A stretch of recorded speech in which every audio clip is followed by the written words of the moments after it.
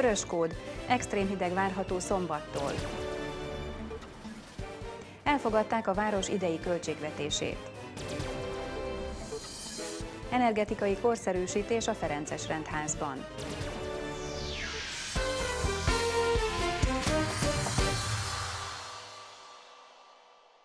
Jó estét kívánok! A hét utolsó munkanapján köszöntöm Önöket.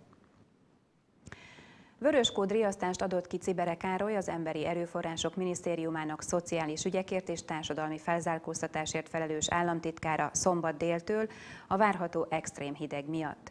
A Vöröskód eljárásrendje szerint a hajléktalanokat segítő szervezetek mellett szükség esetén a bentlakásos intézményeknek is meg kell nyitniuk kapuikat a rászorulók előtt. Gyöngyösön a hajléktalanok gondozóházában felkészültek az extrém időjárási viszonyokra. A riasztás várhatóan egy hétig lesz érvényben.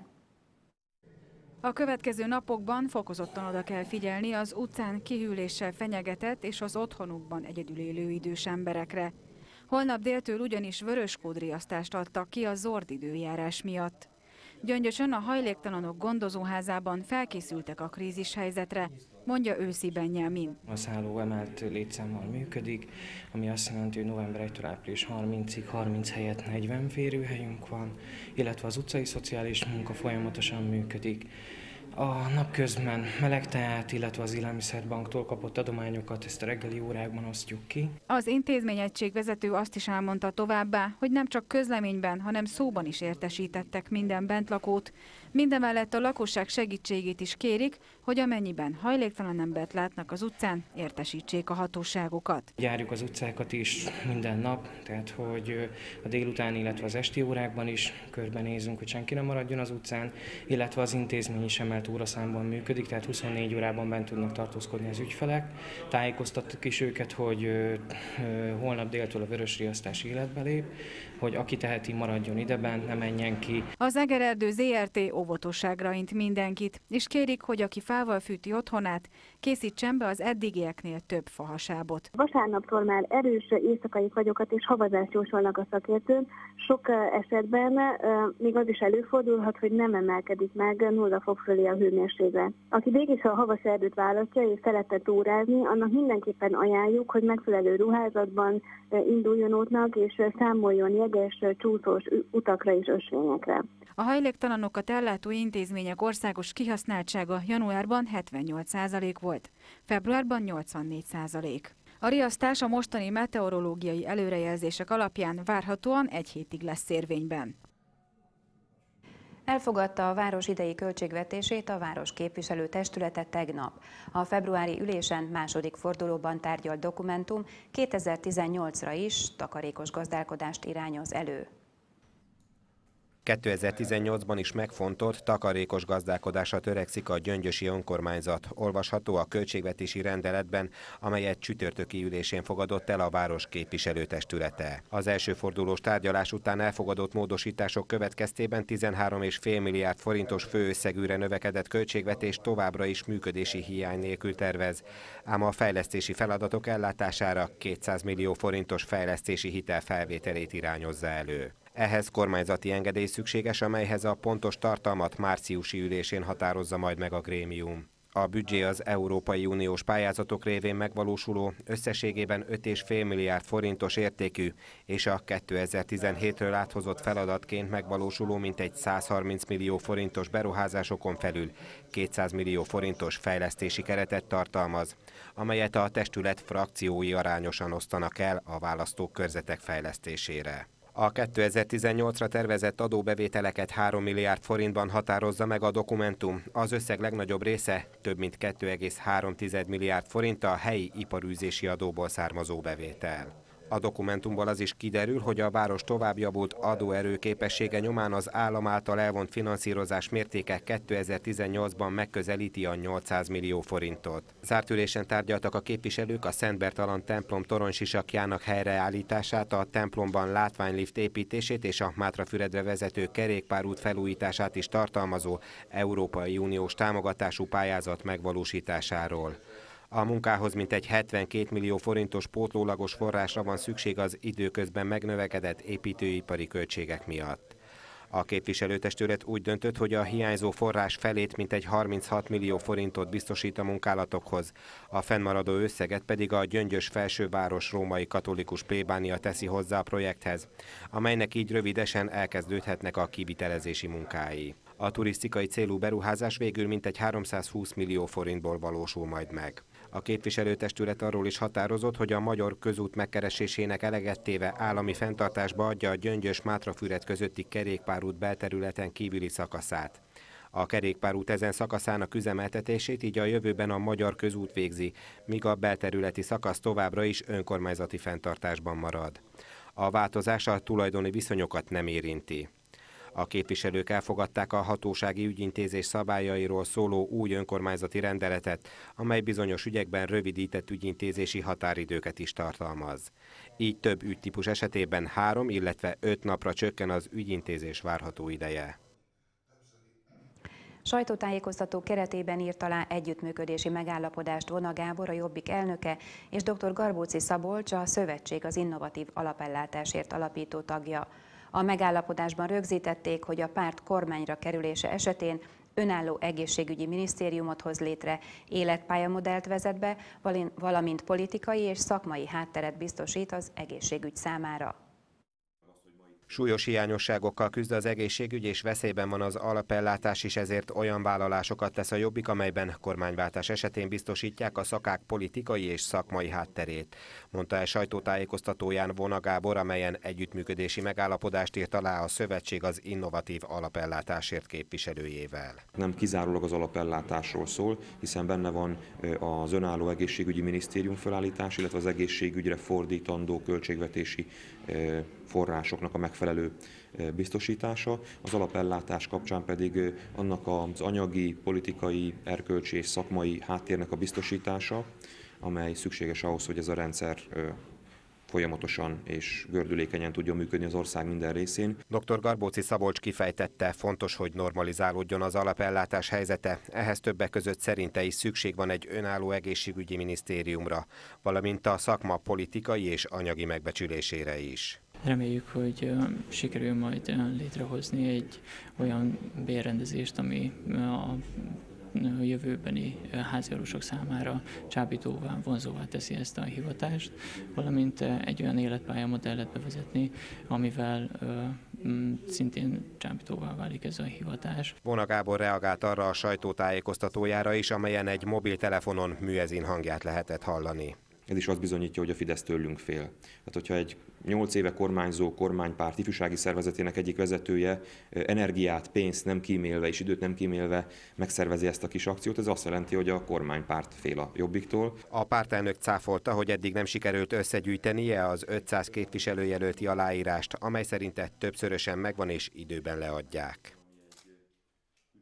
Nagyon rossz helyzetben vannak a kis települések, a szőlőművelésre és mezőgazdasági munkálatokra épülő térségek problémákkal küzdenek, ezen változtatni kell, mondta mai sajtótájékoztatóján Gőgő Zoltán, az MSZP elnök helyettese. Orosz Bálint János országgyűlési képviselő jelölt szerint elfogadhatatlan az, hogy néhány kis településen még orvosi rendelő sincs. Ma délelőtt több mint száz aláírás gyűjtött össze gyöngyösen az MSZP helyi szervezete, és ezzel elérte az induláshoz szükséges minimumot. A mai világban nagyon kevesek kiváltsága a mezőgazdaságból való jó megélhetés. Így véli Gőgöz Zoltán az MSZP elnök helyettese, aki szerint nagyon fejletlenek a kis települések. Mi azt szeretnénk, és olyan programot állítottunk fel, ami ezt többeknek megadatik, és próbáljuk ösztönözni a mezőgazdasági vállalkozókat, vállalkozásokat, hogy vonjanak be több szereplőt ebbe a tevékenységbe, nem az alaptevékenységben, mert ahhoz elegen vannak, hanem hogy gondolkodjanak egy kicsit, és nézzük meg, hogy hogyan lehetett polgárosítani a falukat mondjuk a 80-as években. Megvan a modellje, mi ebben éltünk, így könnyen meg is tudjuk csinálni. Orosz Bálint országgyűlési képviselőjelölt szerint az elmúlt nyolc évben semmi nem történt a vidékkel. Több olyan település van, ahol nincsen házi orvos, nincs orvosi rendelő. Az utak állapota, mint tudjuk, rettenetes, tehát így a, a turistákat fogadni képtelenség. Nincsen posta bizonyos településeken, nincsen takarékszövetkezet, nem tudnak kimozdulni az emberek, nem tudják a háztáit elvinni mondjuk ide a gyöngyösi piacra sem. Tudás nélkül nincs siker, nincs jövő. Ezt dr. Magda Sándor mondta, aki hozzátette, az országban mind az oktatással, mind az egészségügyel hatalmas gondok vannak. Mit ér az ország, ahol a beteg ember protekcióval juthat hozzá valamihez? Mit ér az az ország, ahol a gyógyszereket a nyugdíjasok már nem tudják megvenni? Na most én ezért azt mondom, hogy ez a két dolog. Talán az oktatásnál is fontosabb az egészségügy, mert mit ér a tudás, ha nincs egészség? A sajtótájékoztatón elhangzott továbbá az is, hogy a ma délelőtt folyamán több mint száz aláírás gyűjtöttek össze Gyöngyösön, és elérték az induláshoz szükséges minimumot. Gögöz Zoltán szerint Orosz Bálint kiváló vidékfejlesztési szakember, és ha bizalmat szavaznak neki, jól jár vele a térség. A végéhez közeledik a Ferences rendház teljes energetikai korszerűsítése. A mintegy 110 millió forintos beruházás jelenleg 90%-os állapotban van. Elkészült és üzemel a fűtést biztosító hőszivattyú, a napokban pedig az elektromos hálózatra kapcsolják az 50 kW-os napelemrendszert, néhány héten belül pedig a helyükre kerülnek az új nyílászárók is. Hamarosan befejeződik a Ferences Rendház komplex energetikai korszerűsítése. A beruházás során megújuló energiával váltják ki a villamos energia felhasználás nagy részét. A napelemek már a helyükön vannak, a rendszer üzemképes, már csak az engedélyeztetésre vár a kivitelező. A napelemrendszer már a múlt évben elkészült, az engedélyeztetés, illetve az átmeneti bekapcsolási folyamat kicsit hosszú, most már csak az émásztak a utolsó gomnyomására vár, hogy beinduljon az egész. A nagysága 50 kW, 50 kW, maximálisan 50 kW villamos energia teljesítményre képes, ennyivel tud besegíteni a környező épületeknek a villanyfogyasztásában. A több ezer négyzetméteres épület fűtését 8 darab 100 méteres talajszonda biztosítja ezután, így a gázkazánok csak a kemény hidegben kapcsolnak be. Korszerű energiatakarékos lámpatestekre cserélték a világító berendezéseket is, jelenleg pedig a hőszigetelt ablakokat állítják be. Ledességükre lesz kicserélve a teljes belső villamos világító hálózat, ez jelent egy tekintés megtakarítást. A másik pedig az, hogy az ablakoknál van a legnagyobb hőveszteség egy épületnél, itt az ablakoknál lesz hőszigetelt ablakcsere, de egészen különleges a feladat, mert műemléképületről lévén szó, a külső ablakszárnyak megmaradnak eredeti állapotban. A több mint 100 millió forintos energetikai beruházás során a villamos áram fogyasztása felére, a gázfogyasztás pedig a harmadára csökken. A felújításnak köszönhetően évi több millió forintot takarít meg az épületet használó autista segítőközpont és a Ferences rendház.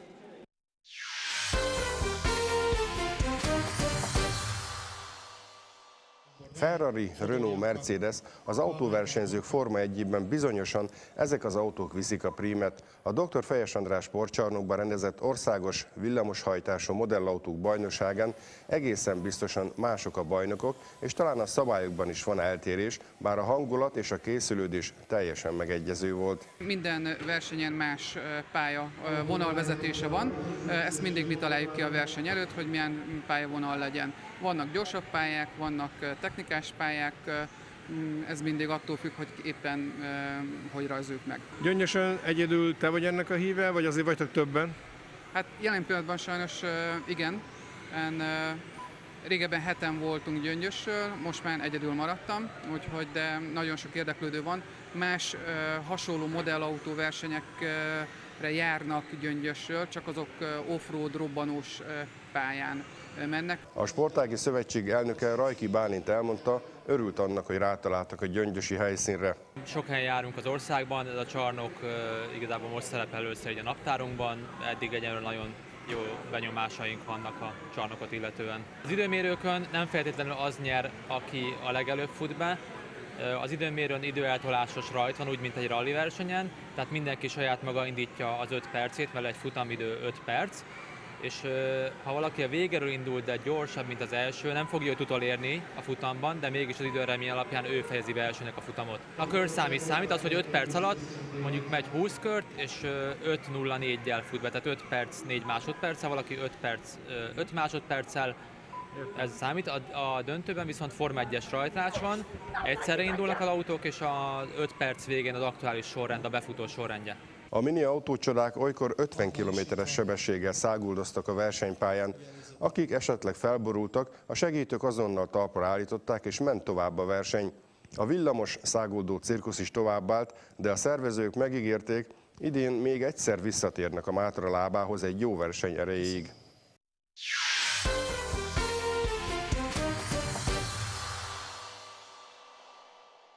A kormány nem tett le arról, hogy a személyi jövedelemadó jelenleg 15%-os kulcsát egy számjegyűre változtassa, jelentette ki Varga Mihály. A miniszter azt mondta, akkor lehet újabb nagy adócsökkentést végrehajtani, ha ahhoz rendelkezésre áll minden fontos feltétel, például az, hogy a gazdaság stabil legyen és növekedjen, miközben a munkaerőpiac javuló viszonyokat mutasson. A miniszter szerint figyelni kell arra is, hogy az ország pénzügyei rendben legyenek, a nehezen megteremtett költségvetési egyensúly ne boruljon fel, írja a Magyar Idők. Annak a másfél millió gépjármű tulajdonosnak, aki évvégéig évfordulós kötelező gépjármű felelősségbiztosítással rendelkezik, legkésőbb március 1 kell rendeznie az esedékes baleseti adóval növelt díjrészletét. Mivel a március 1 határidő az összegnek a biztosítóhoz való beérkezésére vonatkozik, postai csekken kettől már senki ne próbálja rendezni az összeget. Az az ügyfél, akinek a díj nem fizetése miatt megszűnt a kötelező biztosítása, fedezetlenségi díjat köteles fizetni, melynek mértéke idén naponta 340-760 forint között mozog. Az aktuális végén pedig híreink következnek egy-egy mondatban.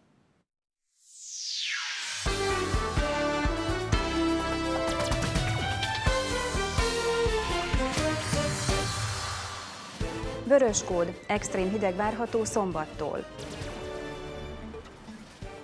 Elfogadták a város idei költségvetését. Energetikai korszerűsítés a Ferences rendházban.